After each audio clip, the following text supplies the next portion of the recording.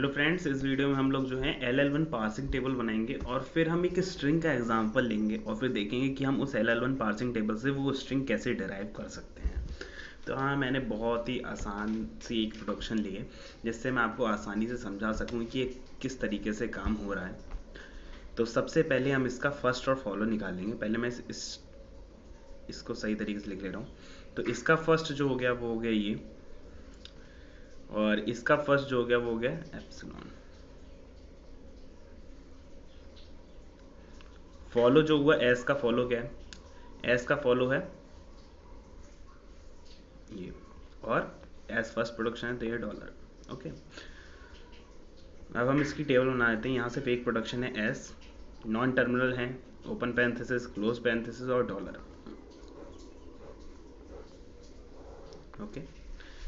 So so, ये production जो होगा ये कहाँ आएगा? ये आएगा इसके नीचे।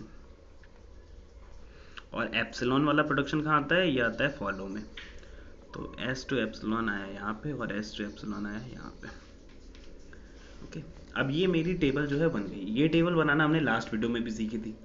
ओके लेकिन हमने क्या नहीं सीखा था? हमने नहीं सीखा था वो था कि हम किस तरीके से एक स्ट्रिंग को डिराइव करेंगे। तो यहाँ मैंने एग्ज़ाम्पल के लिए एक स्ट्रिंग ले ली। Open parenthesis open parenthesis close close dollar इसको मैं इस टेबल से डिराइव करूँगा। कैसे करूँगा? एक स्टैक की मदद से। देखिए।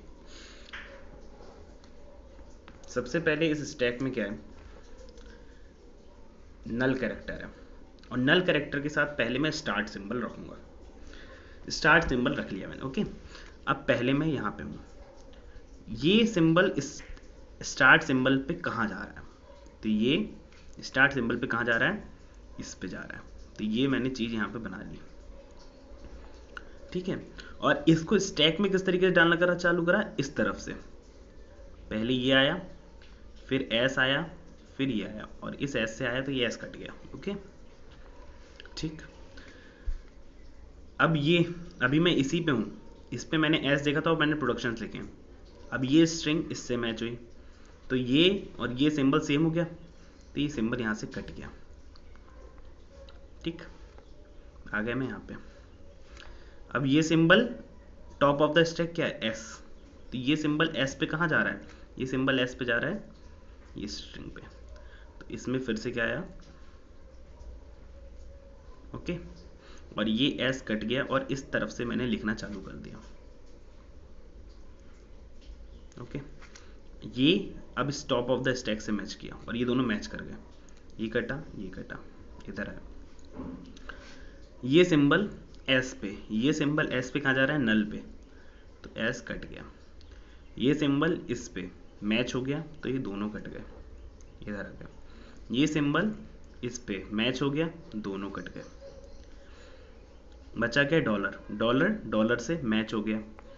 डॉलर कट गया। जहाँ पे डॉलर डॉलर से मैच हो जाएगा, ये सिंबल यहाँ से एस से एप्सिलॉन गया था। जब मैंने ये इस पर देखा था तो एप्सिलॉन गया था, ठीक? तो जहाँ पे ये डॉलर डॉलर मैच कर गए, वहाँ पे मेरा स्ट्रिंग जो होगी वो एक्सेप्टेड हो जाएगी। और जहाँ ये स्ट्रिंग एक्सेप्ट हुई है, वहाँ मैंने यहाँ पे पास ट्री भी मेरा इस प्रोडक्शन के लिए बन गया। देखिए कैसे। ये आया मेरा ओपन पैरेंथेसिस फिर नीचे गए, एक और ओपन पैरेंथेसिस नीचे आया नल आया। फिर एक क्लोज पैरेंथेसिस फिर एक क्लोज पैरेंथेसिस और ये मेरी स्ट्रिंग जो है, यही तो मुझे ड्राइव करनी थी। तो इस तरीके से हमने देखा कि हम एक एल एल वन पार्सर का इस्तेमाल करके किसी भी स्ट्रिंग को किस तरीके से हम डिराइव कर सकते हैं, एक स्टैक की मदद से। यहाँ पे ये स्टैक है, इसका हमने इस्तेमाल किया।